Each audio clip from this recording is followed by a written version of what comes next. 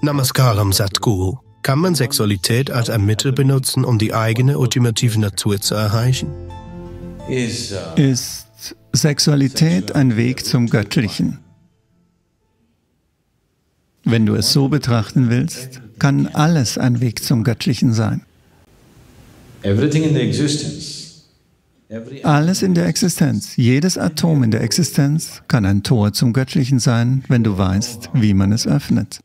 In diesem Sinne, ja, Sexualität ist ebenso eine Tür zum Göttlichen. Der Grund, warum jemand darüber gesprochen haben mag, ist, weil es in vielerlei Hinsicht so ist, ein gewisser Teil der Lebensenergie ist deiner Sexualität gewidmet, wenn du sie nicht transformierst. Natürlicherweise, um sicherzustellen, dass die Fortpflanzungsaktivität stattfindet und die Ethnie erhalten bleibt, die menschliche Ethnie erhalten bleibt, wird ein gewisser Teil deiner Energie ganz natürlich dem sexuellen Prozess gewidmet. Im Hinblick auf das Überleben ist Fortpflanzung ein wichtiger Teil des Überlebens. Denn beim Überleben geht es nicht nur um deinen Körper, beim Überleben geht es um das Überleben der Spezies.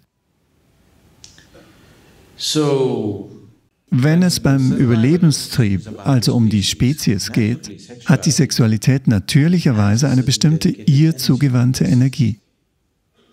Solange du sie nicht bewusst transformierst, ist sie im System aktiv. Du kannst sie nicht leugnen. Vielleicht ist sie bei verschiedenen Menschen unterschiedlich stark aktiv, vielleicht auch nicht in gleichem Maße. In manchen Menschen kann sie sehr stark sein, in manchen Menschen kann sie nur eine vorübergehende Phase sein. Können wir also Sexualität als einen Weg zum Göttlichen nutzen? Ich würde raten, dass du Sexualität als Sexualität behandelst, anstatt zu versuchen, sie zu einem spirituellen Prozess zu machen, weil das extreme Disziplin erfordert, zu der du nicht fähig bist. Ich würde sagen, die meisten von euch, fast alle von euch sind unfähig zu dieser Art von Disziplin, die notwendig ist, wo ein natürlicher Lebensinstinkt involviert ist, um dem die nötige Bewusstheit entgegenzubringen und diesen natürlichen Instinkt, der versucht, einen bestimmten Zweck zu erfüllen, zu nehmen und ihn zu einer ultimativen Möglichkeit zu machen, braucht es viel mehr, als du denkst. Wenn du nun keine Schuldgefühle bezüglich der grundlegenden Biologie deines Körpers hast, führst du ihn in dem Maße, wie es für dich als Person notwendig ist. Du musst weder die gesellschaftlichen Normen erfüllen, noch musst du mit den Pferdezuchtbetrieben um dich herum konkurrieren. Ja. Als Person, wie weit dein Bedürfnis geht, das siehst du bitte. Lege dem keine gesellschaftlichen Maßstäbe an. Wenn du dich danach richtest, wenn du dich nicht darauf einlässt, was innerhalb der gesellschaftlichen Maßstäbe passiert, wirst du sehen, dass die meisten von euch eigentlich sehr wenig Sexualität brauchen. Menschen werden angespannt durch das, was rundherum geschieht. Sie denken, wenn sie nicht so sind, wie alle anderen zu sein behaupten, dann leben sie vielleicht kein normales Leben.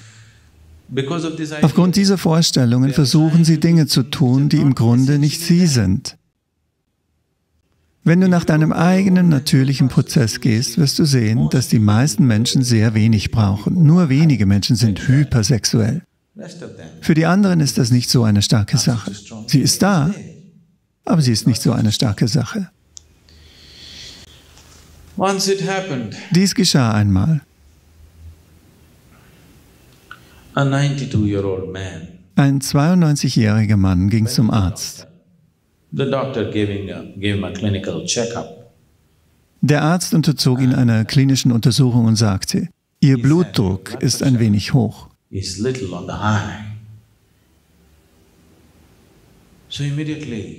Da fragte der 92-jährige Mann sofort,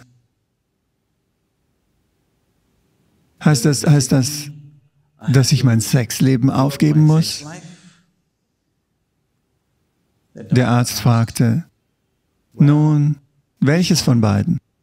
Darüber nachdenken oder darüber reden?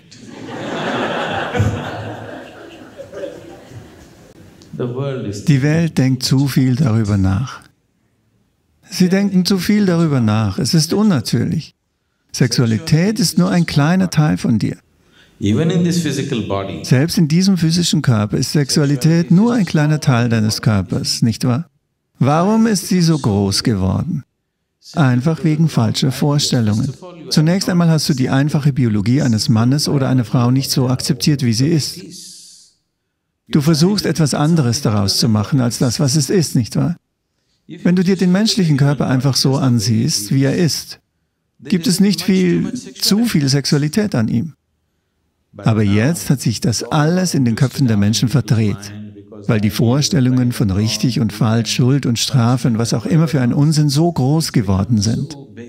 Wenn du sie einfach als Teil deines Lebens akzeptieren würdest, wäre sie nur ein sehr kleiner Teil deines Lebens. Dann würdest du nicht daran denken, wie du deine Sexualität nutzen kannst, um das Göttliche zu erreichen.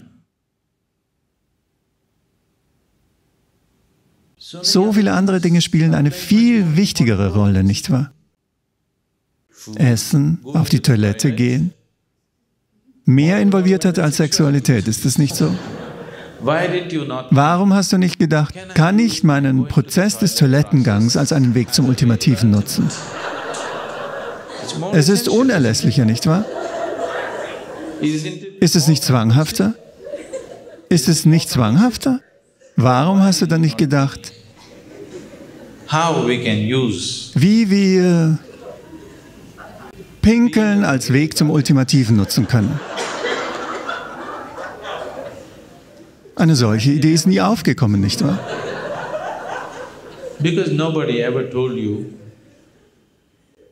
Weil niemand dir jemals gesagt hat, dass du dich schuldig oder richtig oder falsch wegen deines Toilettenproblems fühlen sollst. Diese eine Sache haben sie zu so viel gemacht. Zu je mehr sie sie gemacht haben, desto mehr Widerstand und mehr Kampf in deinem Kopf. Es hat deinen Kopf gefüllt, das ist das Problem. Wenn du also mich fragst, gibt es so viele andere einfachere Wege, es zu tun. Warum versuchen Sexualität als den Weg zum Göttlichen zu nutzen? Weißt du, als Als wir die Geschäftstätigkeit in Isha begannen, überlegten wir, welche Namen wir dem Ganzen geben sollten. Sie hatten sich viele Namen ausgedacht. Ich sagte, nein, all das, wir werden es Isha Business nennen. Sie sagten, das ist zu direkt. Ich sagte, ich möchte, dass es direkt ist. Denn wenn du irgendetwas anderes sagst, werden die Leute alle möglichen Vorstellungen haben. Die Leute glauben, dass Isha nur dienende Tätigkeiten ausüben kann. Und wenn du Geschäfte machst, werden die Leute kommen, um mit dir Geschäfte zu machen und erwarten, dass du Dharma mit ihnen machst. Deshalb wollte ich, dass es schon mit dem Namen ganz klar wird, Isha Business. Wir machen Geschäfte. Habe weder Zweifel daran, noch haben wir irgendwelche Bedenken deswegen. Das Gleiche gilt für dich. Du behandelst deine Spiritualität separat, deine Sexualität separat. Sie sind nicht verbunden. Kann ich sie verbinden? Ja, du kannst alles mit Spiritualität verbinden, möglich. Ich sage nicht nein. Aber warum einen schwierigen Weg wählen? Warum einen Weg wählen, auf dem es so viel Zwanghaftigkeit gibt und versuchen, sie bewusst zu machen? Stattdessen gibt es einfachere Wege, um bewusst zu werden.